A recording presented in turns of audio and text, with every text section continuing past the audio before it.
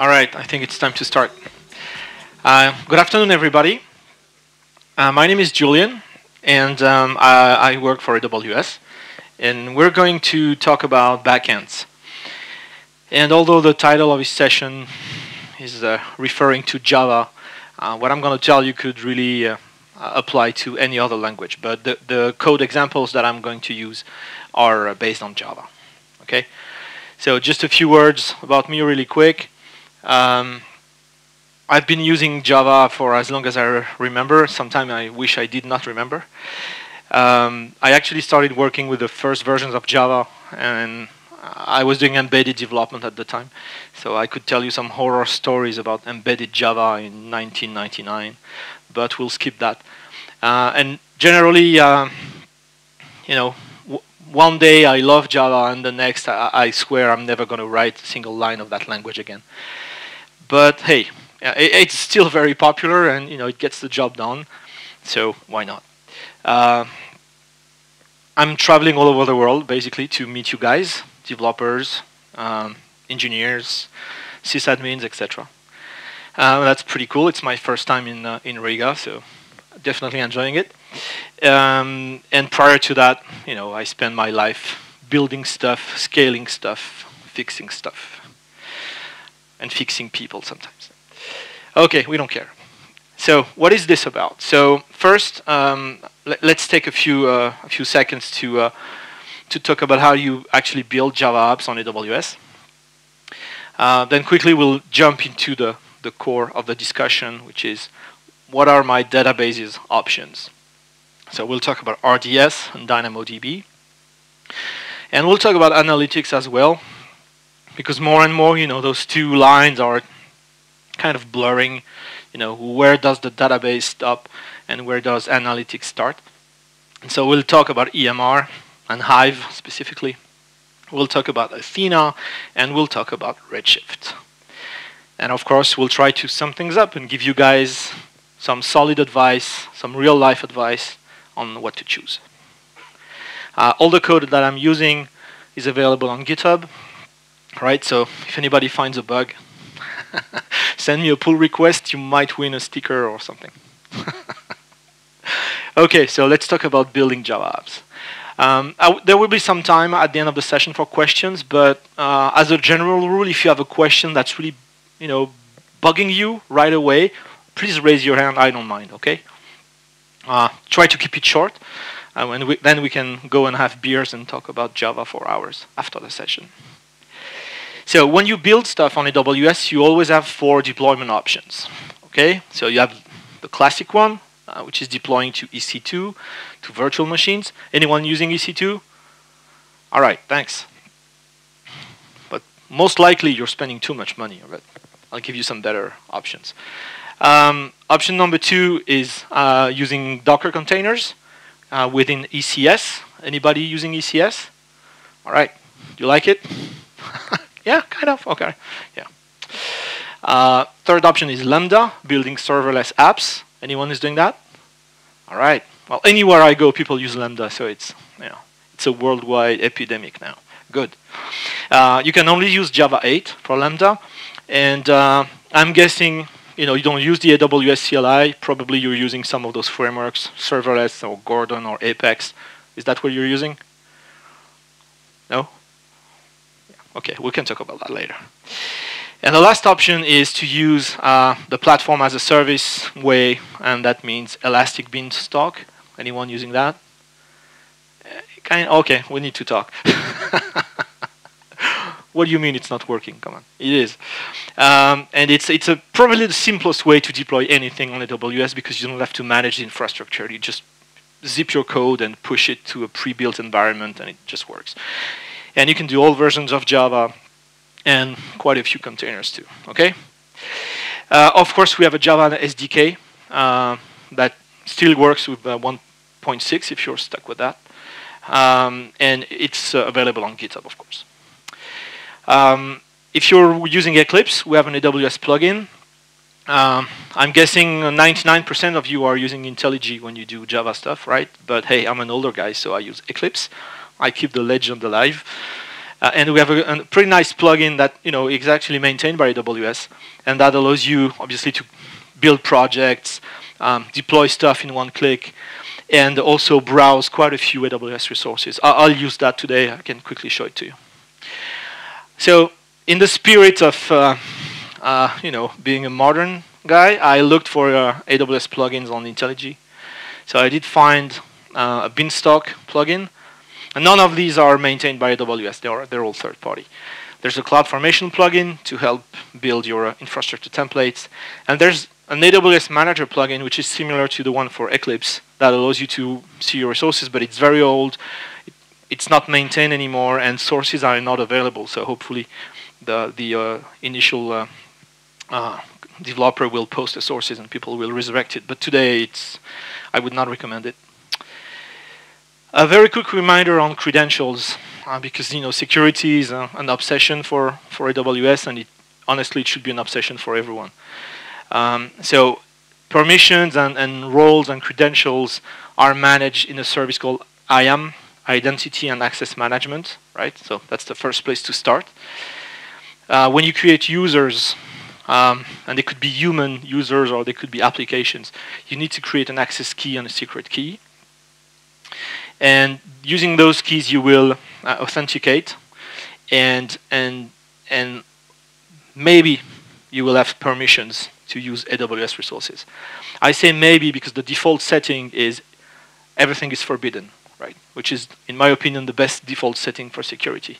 So when you create a user, when you create keys for an application, by default, it, you know, nothing is allowed and you have to explicitly allow this API to be invoked and this resource to be accessed. So it's a bit of work, but it's, a, it's the most secure way to do things.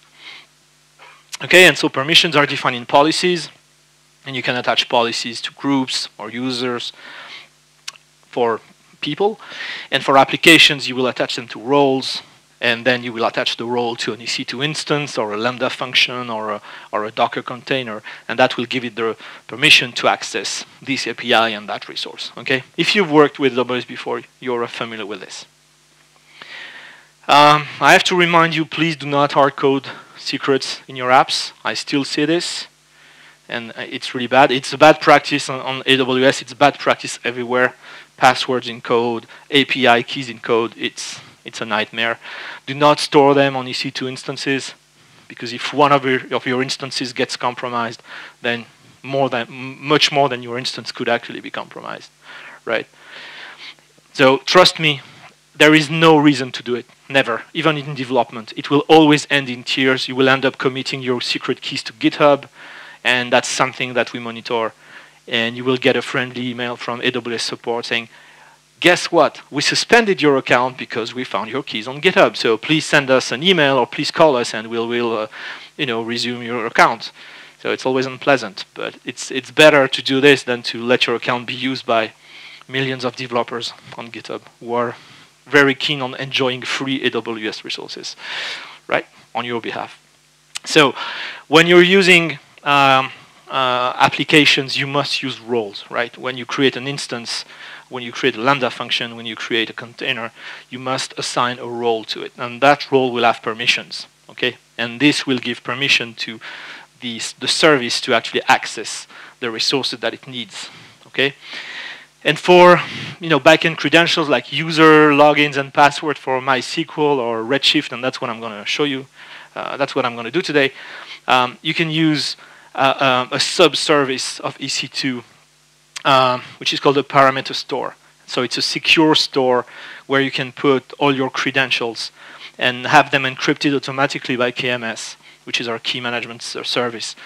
And basically, you know, you can just put it there and get it securely when you need to. And that's what I'm using. Okay, so please no hard-coded secrets.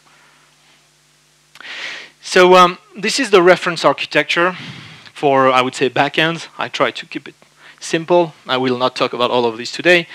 And so the first layer is really about data stores, like RDS and DynamoDB. And of course, you know, we have some other ones, but you could not really call them databases, right? Like Cloud Search or S3. They're cool, but they're not databases. And then we have analytics. Um, and a good choice to perform analytics could be uh, Amazon EMR, Hive, and so on, Redshift, or Athena. Okay, and these are the five we're going to look at today. Okay?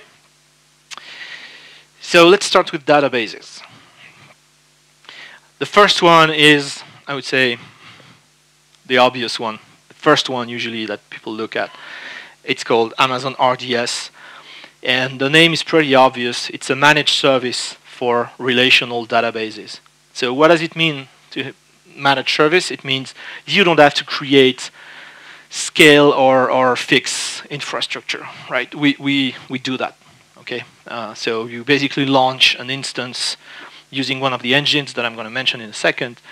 Um, you pick an instance size, you decide whether you want high availability or not. You can always add it later if you want. You wait for a few minutes and your server pre-installed with your database engine is ready, right? So you can scale up and down, and you can shut them down when you don't need them anymore. So it's pretty cost effective. And there's a 99.95 SLA on it, which I'm happy to say we tend to exceed. So the engines that are available on RDS are, so I'll, I'll talk about the ones you know, probably. So MySQL, MariaDB, Postgres. And this is the slide that is never up to date. It's probably outdated today. I checked it yesterday, I wouldn't be surprised if something had changed in here. Uh, quite recently, we still supported MySQL 5.1, if you can believe that. Uh, so it changes every day. And for commercial databases, we support Oracle and SQL Server in way too many versions that you know that doesn't even fit on this slide. So the the last one that we support is called Aurora. Anyone has heard about Aurora? Okay, a few people. So Aurora is a high performance implementation of uh, MySQL, and now Postgres. So basically, our teams took MySQL and, and Postgres and you know injected the the AWS secret sauce into those to make them uh, five to ten times faster, um, to improve high availability and to improve scalability. Aurora can scale storage automatically up to 64 terabytes. Okay, so you could, you could have a 64 terabyte relational database. I don't believe it's an actual good idea to do that, but hey, whatever floats your boat, right? Um, there's a very cool research paper that just came out a few days ago on the design principle of, um, of Aurora, if you want to read it. Uh, it's, it's, it's very nice, very nice. Good reading. Okay, so you can pick one of those. So who uses RDS? Well, like I said, you know, show me an application that doesn't need a relational database. So uh, it's one of our most popular products. Um, you know, I could just pick one here, which is Airbnb. Everyone knows those guys. So Airbnb is using RDS for pretty much all their backends. Uh, and that's pretty spectacular given the scale of Airbnb. And you know, very early on they picked RDS and they just stuck with it because you know it just scaled and it allowed them to focus on building the, the service, building the application, building the product, not doing DBA stuff, right? So I, would say it worked pretty well for them. Uh, you know, Rovio is another company that scaled pretty well. And if you have a Lamborghini, I wish you have one. Uh, I wish I had one. Uh, then you know they're using RDS too. I'm not sure what for, but they are. Okay, so everybody is using databases and RDS is a very popular choice because it makes your life simpler. You focus on building the product and not on you know tweaking uh, your database. So let's let's look at, at, an example. So on each of those slides that you will see, uh, there's a, a, link to the uh, to the SDK for the service, right? How to create a cluster, how to scale it, etc., etc and how to install the JDBC driver for the for those. Uh, in this case, I think I'm using the MySQL um, driver. All right. So, oops, we don't need that. So how do you connect to those guys? Well, I mean, you've seen this one a million times before, right? Uh, it's no different. So uh, all these backends except one, um, no, actually all these backends uh, use JDBC. So I'm using vanilla JDBC code to connect to them. Okay. The only difference is some of them need a user and a password, and some of them just need AWS credentials, like a role, but that's the only difference, okay? And the query I'm running, so I loaded the same data set on all backends, uh, except for DynamoDB. Uh, so it's uh, 1 billion lines of fake e-commerce transactions. They're not AWS transactions or Amazon transactions. I did not steal any logs. Okay, so it's a, it's a billion lines. And, you know, I'm just looking for all the people named Jones in Florida or something, okay? Um, you know, simple way to do that. So here's how you would connect to Aurora. Do I have the, yes, the laser. Okay, so that's my driver. As you can see, I'm using MySQL here, the MySQL driver. And that's my endpoint, so the cluster name and the database name. Okay? You've done this a million times. Um, here, I'm connecting to EC2 to get credentials. So the login is called backend user, and the password is called backend password, so that I don't have to hard code anything in there. And this is how you do it. Okay, you're building a client to that uh, systems manager entity. And uh, you're just you know sending that get parameter request with the parameter name just gives you the value back and it decrypts it for you okay? Couldn't be simpler. So please please do not hard code stuff. There's really no reason to do it now. Okay so so right there, I'm getting my credentials, okay, and I can connect. So I create an RDS client in the US East 1 region. That's where my cluster lives. I'm going to call one of the uh, Java APIs for, uh, for RDS to describe that uh, instance I'm connecting to. And then I'm just sending that query, looking for Joneses in Florida. Okay, want to try it? One billion lines. Hopefully that's fast. And hopefully that works.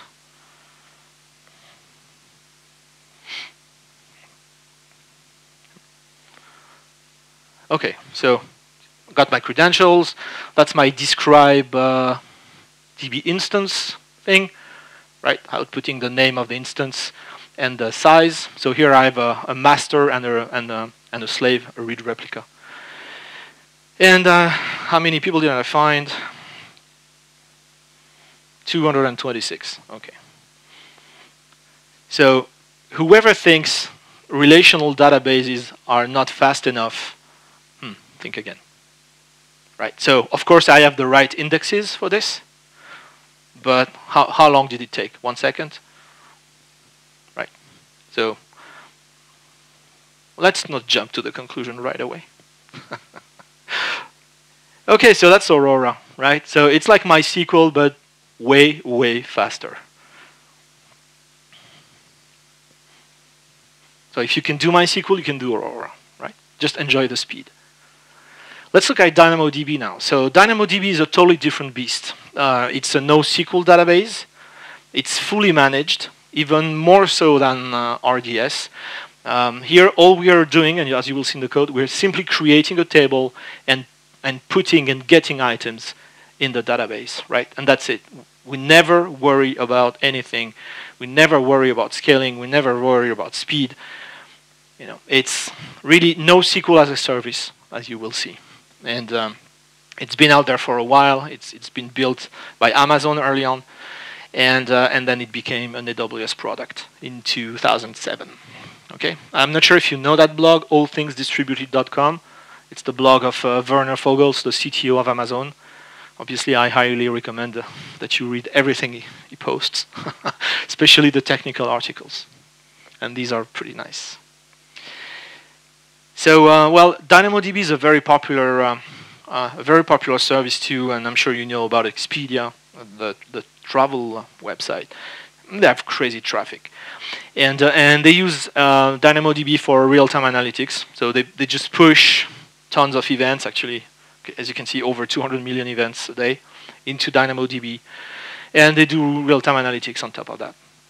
And the only thing you have to do, once again, is creating a table, and that's pretty much it, right? No infrastructure to manage. You know, you can scale that thing way, you know, to the sky, and and not worry about it. It's just one setting. So always the same story about us focus on building your business, focus on building your product, leave the plumbing to us, right? We're the plumbing guys. So let's look at Dynamo.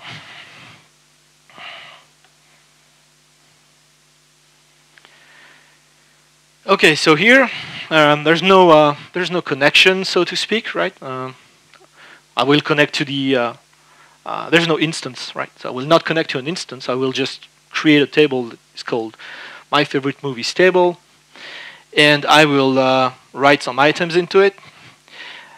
So here I'm going to use the real service, but I should I should mention there's a local version of Dynamo that you can run on your machine. It's in Java, and you can just start it locally and uh, and connect to the local endpoint and work on your machine with DynamoDB, right? Which is nice because you can work locally, do your, all your testing, and then uh, switch to the production service. Okay. So, how do we connect? Well, that's how we connect, right? So this time I'm using the uh, Ireland region, EU West 1. I'm creating a table, so this looks scary, but it's not. Java builders. That's my that's the hate part of my love-hate relationship. So table name, uh, key schema. So um, this table will have a, a key called name. It's a hash key, so it allows me to shard the items across the DynamoDB nodes. Uh, and the attribute is called name, and it's a string, which kind of makes sense for a name, right? So it's a complicated way to say, hey, I need a sharding key, that's a string, and call it name, please. And that's uh, the what we call the provisioned throughput, uh, which says how many reads and how many writes we're going to do per seconds, right? So actually, these are read units, so it doesn't really mean one read per second, one write per second, but we don't care today. And so that, this is how you scale DynamoDB, right? If you need, you know, a million write per second for a day or two days, you would go to the to the API, tweak those parameters. DynamoDB will would provision the enough hardware for that in you know maybe an hour or so, and uh, and then you could turn it down uh, when you would be done working. Okay, so here you know this is just for testing. So I'm creating the table. If it doesn't exist, I wait for a few seconds for the table to, to show up, getting the table name, I will describe the table. I will add some items. So it's a movie table, so let's add some movies. Right? Star Wars, Star Trek, Phantom Menace. Anyone here thinks Phantom Menace deserves more than one star? Hopefully not. Okay. Uh, I would put zero if I could. Uh, Lord of the Rings, which should have 10 stars. Then I'm going to get one of those items. Then I'm going to build a request to find items with five stars. Okay, and again, this looks a little bit complicated, but it's really not. So that's the value I'm going to be looking for, five stars. I build my scan request, right? So find everything with rating equal to view rating, which is five stars, and just do it, right? So let me check that I did delete that table. So that's the um, that's the browse the uh, manager that I showed you. I can look at my services. So let's run this thing.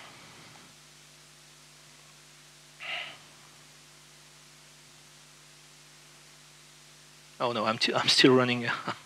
Sorry, let's do that again. Okay, creating the table. So this takes maybe five, ten seconds because it needs to uh, provision some uh, uh, some resources to do that. Let's just wait for 5 to 10 seconds. Come on, DynamoDB. Don't let me down now. All right. Uh, I'm describing my table, so I can see my attributes, my, my key, right? Creation date, blah, blah, blah, blah. Lots of very fascinating stuff. And then I'm putting my four movies, right? Uh, result is empty because I didn't ask for a result. I could ask for the old value to be sent back or, uh, or, or the actual new value that was written, but here I don't need it.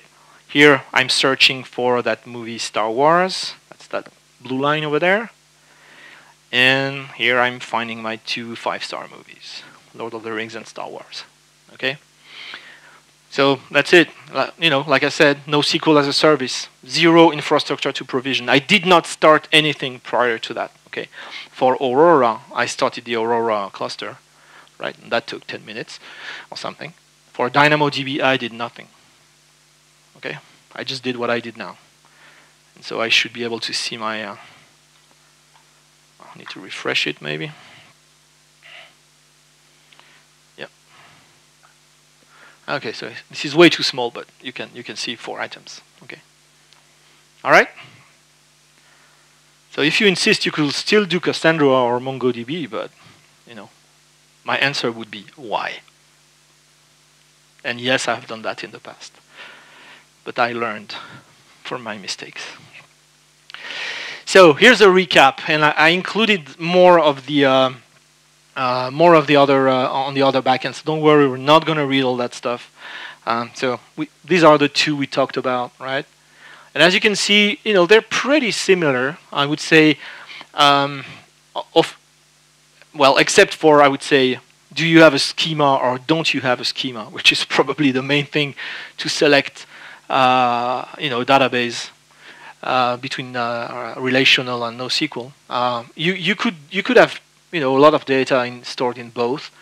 Um, you could request them at fairly high rates, although DynamoDB will go again up to the up to the sky. We had some customers who uh, uh, who ran uh, you know ads, TV ads during the Super Bowl in the U.S. and and they they went up to one million reads per second on DynamoDB, and you know no no worries. So their website did not go down. unlike some others. So yeah, Dynamo is, is really brutal when it comes to uh, requests. Um, and for the rest, I would say, again, it's more going to be, do you have a schema or don't you have a schema, right? And some additional information on the other backends, but you can read that stuff uh, at home. Okay, so let's move on to analytics. And I'm going to start with uh, everyone's favorite, I suppose, EMR or maybe not. Uh, anyway, it's the oldest one. Um, and EMR is a managed service um, for the uh, Hadoop ecosystem. Okay, so we started with Hadoop and Hive and Pig and all the the early Hadoop tools, and uh, as time went by, we added you know Spark and Flink and Presto, and you know I'm sure some stuff I have never even tried. So again, it's a managed service. So you just create a cluster, you specify how many nodes you want and what are the Hadoop applications that you want. You wait for a bit, and then the cluster is ready, pre-installed. You don't have to go and install Zookeeper and, and do that stuff manually, right? Has anyone installed Zookeeper manually? yeah, was it enjoyable? okay. It, it wasn't for me either, so that makes it, you know, two of us. So again, Hadoop cluster ready to fire in, let's say, 10 minutes, okay? And you can resize, uh, resize them and stop them, and, and it's nicely integrated with uh, uh, S3, for example, so you could load, you could keep all your data in S3, load it on the cluster to run it, save it back to S3, you know, you won't have to uh, worry about uh, HDFS. So if you need Hadoop and want to make it simpler, this is the way to go. Um, we have tons of customers using it, of course, um, but I selected one of the really spectacular ones.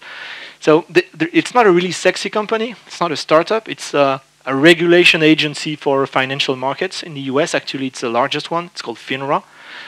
So, so what these guys do is they look at all market trades in the US during the day, and they store everything. And during the night, they run crazy Hadoop and machine learning jobs on that data to find something that looks suspicious, right? Something that's illegal or something that doesn't look quite right. Imagine that. Billions and billions of trades every day, and they have to look for the few things that are probably illegal in there. And then they report it to the SEC, and hopefully the bad guys go to jail. Uh, well, I like to believe it. Um, maybe they don't.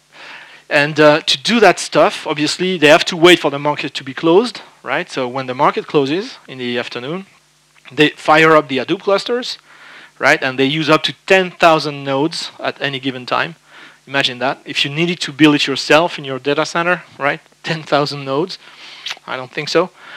and, and they run all the jobs and they get the results and then they shut down the clusters, right? So they actually save tens of millions of dollars every year by doing this versus building a cluster that's running 24/7 except it's only useful maybe a few hours a day. Okay? So just to show you how large you could go with the EMR. So let's look at Hive.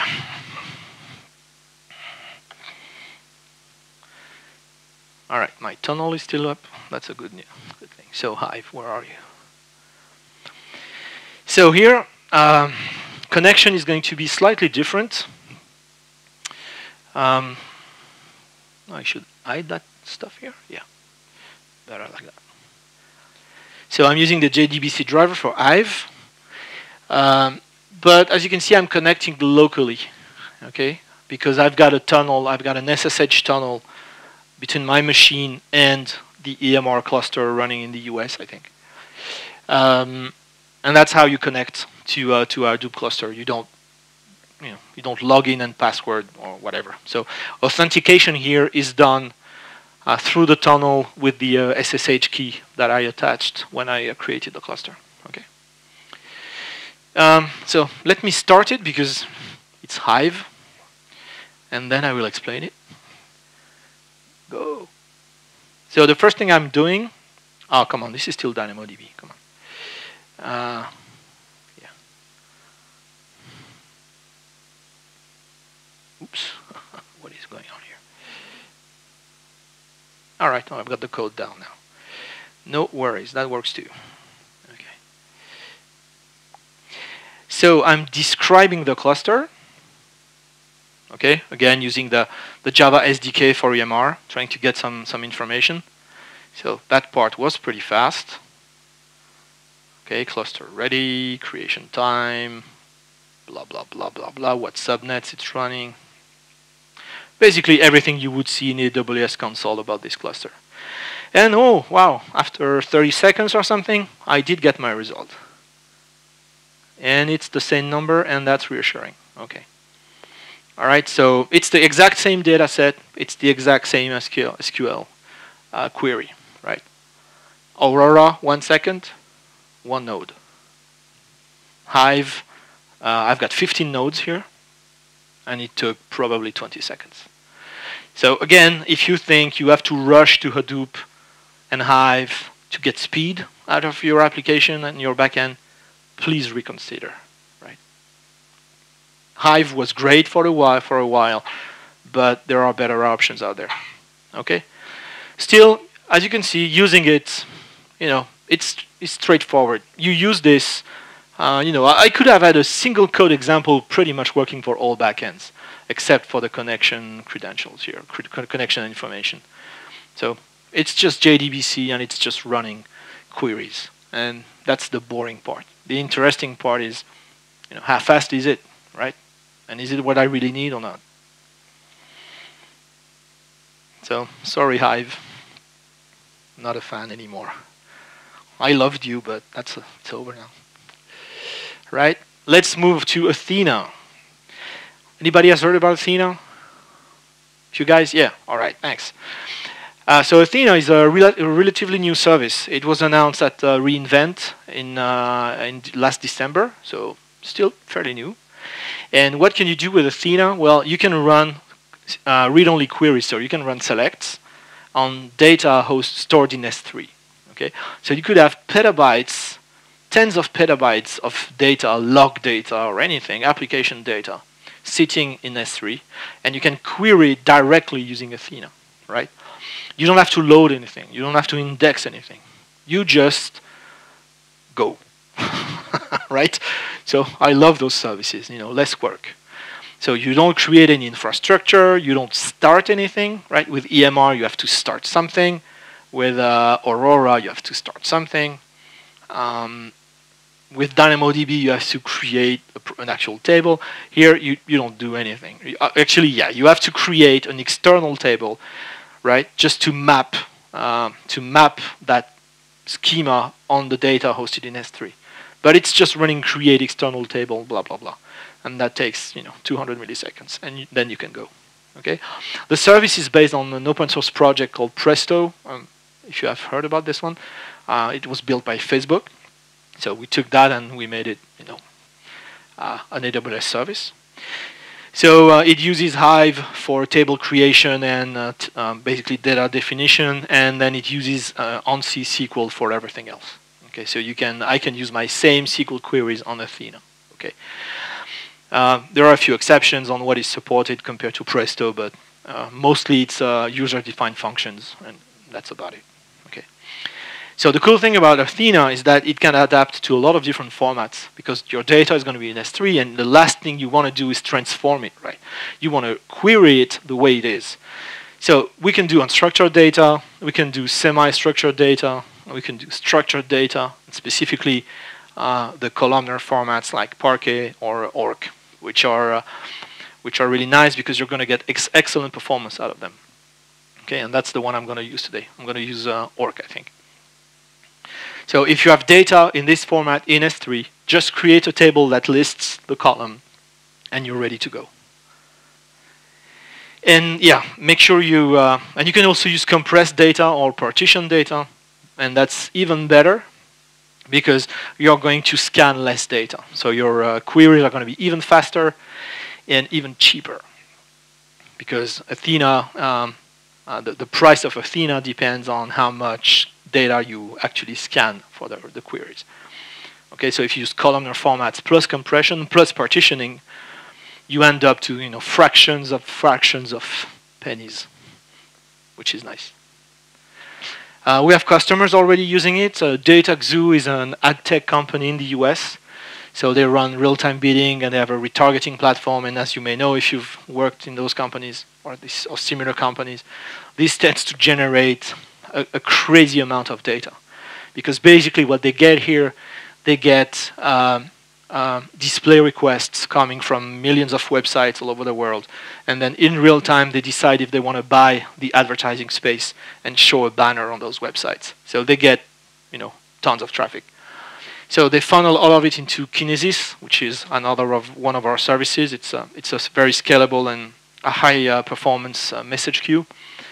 And then they go into their actual uh, crunching machine and they dump all the results to S3 and from S3, they use it for database. They use Athena for ad hoc analysis and you know investigation and data science and everything that you could do interactively. And then, they, of course, they build some reports. And they they have that much data coming every every day. If you can imagine that, it's crazy. So just you know, just drop it in S3 and query it with Athena. No worries. So let's look at Athena. So Athena is slightly different in the sense that it's completely, fully, absolutely managed, and there is no Java SDK for Athena, right? So I cannot call describe table or describe blah blah blah. Okay, so I, I believe it's the probably the only AWS service that doesn't have a Java SDK. But to be honest, you don't really need it. So all we need is a JDBC driver. So let's look at this. Uh, Athena. Okay. So the connection to Athena is a bit different. Uh, so I am using JDBC here, but just to show you a different example, um, I could use you know uh, uh, different types of credentials. Here I decided to show you how to do it using local credentials. So my local AWS credentials stored on my laptop. Okay, and these are just properties that you pass to the JDBC driver.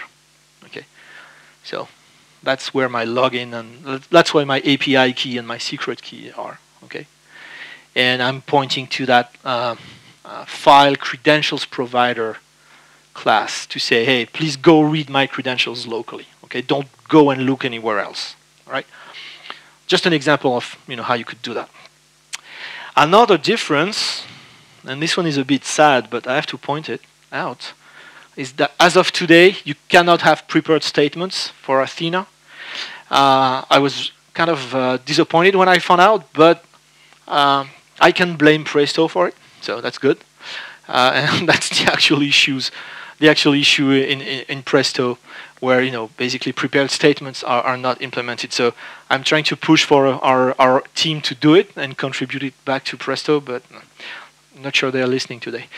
So uh, so it's exactly the same request, uh, but and I'm running it on my Parquet table as you can see, uh, but it's it's a regular statement. It's not a prepared statement. So that sucks a little bit, right? And the rest is completely identical. So let's run it. So again, I created nothing. That table barely points to stuff in S3. And let's see how we go. 1 billion lines. No infrastructure at all. Come on, Athena, wake up. Yes, thank you. 226. Okay, so five, six seconds right? So imagine you have billions and billions and billions of lines somewhere, log, load balancer logs, whatever it is, right? Application logs, and you have that question where, oh, I'm wondering what the result is. And normally, what would you do? You would maybe go to your Hadoop cluster or your BI cluster and ingest all those logs, and it would take hours to set up, etc. And only then you could ask the, the actual question and hopefully get the answer. Here, just create a table that maps to the actual data in S3, ask your question, and you're done. Right? So it will take five minutes, not hours and hours. So I am madly in love with, with Athena, I have to say. But there's even better now. So the last one I want to talk about today is called Redshift, and it's been around for a while now. Anybody uses Redshift? All right. Well, you use all of them. Come on. You definitely deserve a sticker. so, um, so Redshift is a relational data warehouse. Um, it's based on SQL. It's com it's compatible with a Postgres SQL, so that's good because I hate learning new stuff. It's fully managed. So again, you just like EMR or just like RDS, you just fire up the cluster and you wait for a bit, and you get your connection your, your connection chain to uh, to the cluster. Uh, it's massively parallel. You could have a very, very large number of nodes. You could have up to more than 100 nodes if you wanted. So that's a lot. Uh, it will scale to multi-petabytes of data.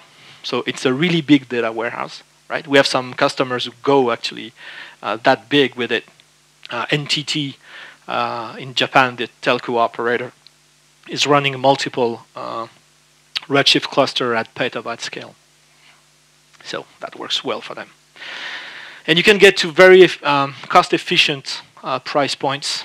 Um, when you talk about data warehouse, usually you uh, uh, you compare the cost of how much you know. You look at how much a terabyte is going to cost per year, and with Redshift you could go to a thousand dollars, right? So if you have a data warehouse in the office, just look. I'm guessing it's going to be more expensive than that. And actually, less than, well, probably a month ago or six weeks ago, uh, we extended the service uh, with a Redshift Spectrum. And Redshift Spectrum basically gives Redshift Athena-like capabilities. Okay, so now with Redshift, you can also create external tables and query data hosted in S3. But it's a different service. Spectrum is an AWS build, right? Uh, it's not based on Presto. So that's the architecture of Redshift. So client applications connecting through uh, standard drivers to the leader node of the cluster, uh, sending the SQL queries. The, the leader node is going to build the execution plan, optimize the request, break it down into tiny pieces, um, send each piece to a compute node, right? And each compute node is going to run that part of the request on its local data right? And then when when they're done, they're going to send all the results back to the leader node, and the leader node sends you the result.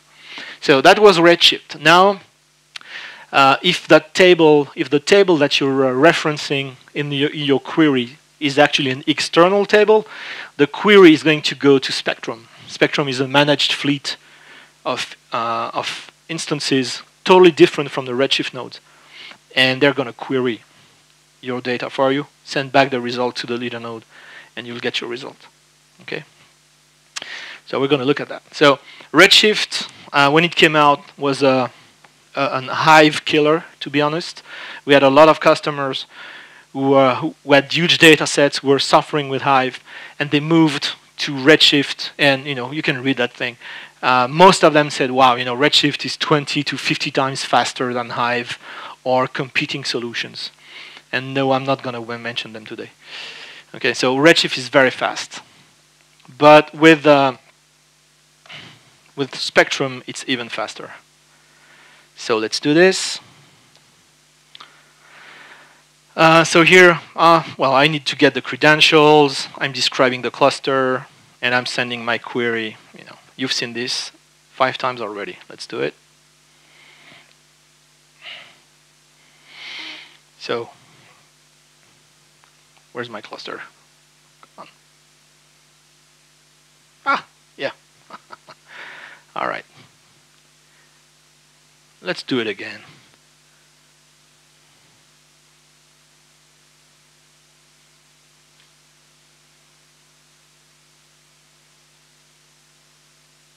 Oh, it's a little slow. Why? I don't know. Yeah, nah. 226. Yeah. It should be faster. I know. Mm, yeah, maybe it's that uh, describe operation that slows us down. But yeah, actually, Redshift is uh, is in this case is uh, quite faster than Athena. I don't. It, this isn't a proper benchmark. So, but again, this could scale extremely high. Okay. So er, if you um, if you have a data warehouse already, uh, if you use Redshift already, then you can extend it. Yeah. Oh, that's the okay. That's why. All right. Sorry.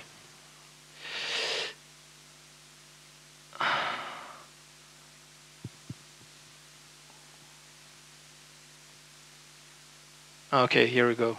Okay, that's much, that's more like it.